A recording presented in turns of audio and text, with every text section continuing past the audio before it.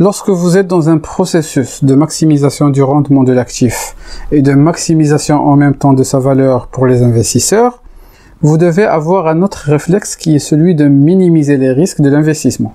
Cela nécessite le déploiement de plusieurs techniques que l'asset manager doit maîtriser. De manière générale, l'asset manager doit mettre en place une procédure détaillée pour le choix des locataires. Cela implique la vérification de plusieurs critères en relation avec le locataire lui-même, mais aussi avec l'activité qui sera exercée dans l'actif alloué. L'objectif principal pour l'asset manager est de se faire payer dans les temps, car c'est le paiement des loyers qui assure la rentabilité. Mais aussi, il faut avoir des activités qui marchent et qui sont en cohérence avec les activités prévues au sein de l'actif. Pour cela, en tant qu'asset manager, il faut premièrement que vous vérifiez la notoriété du locataire, soit une marque connue, soit un chef étoilé, soit un commerçant euh, avéré, etc., à travers la vérification des expériences qu'il a menées ainsi que sa notoriété dans le marché.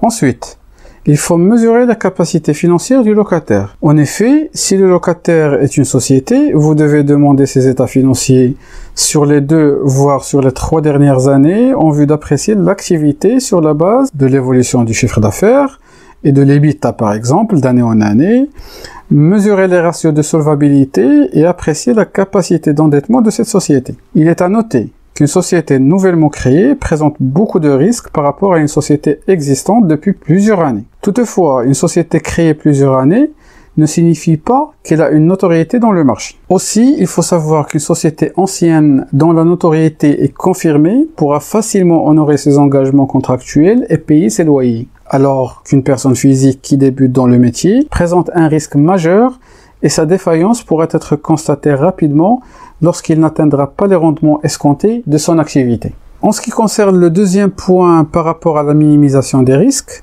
l'asset manager, il doit être capable de maximiser le revenu, mais aussi maximiser l'occupation. Car parfois, certains locataires peuvent proposer ou accepter des loyers élevés alors qu'ils ne sont pas capables de les honorer sur toute la durée du bail. Ceci s'explique par le fait que ces locataires payent uniquement les premiers loyers et s'abstiennent à payer le reste. L'asset manager devra détecter ce profil de locataire et faire des analyses multicritères de telle sorte à ce que ce risque soit neutralisé. Il doit en même temps analyser les loyers proposés conjointement avec la solvabilité et la notoriété du locataire.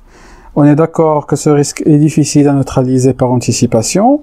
C'est pour cette raison qu'il faut avoir un plan de réponse pour réduire l'impact de ce risque lorsqu'il interviendra. Comme par exemple, mettre des clauses contractuelles qui pénalisent radicalement le locataire en cas de, défaut de paiement des loyers, tout en facilitant son éviction pour libérer le local dans l'immédiat. Une autre méthode pour minimiser les risques est celle d'anticiper les réclamations et les départs des locataires.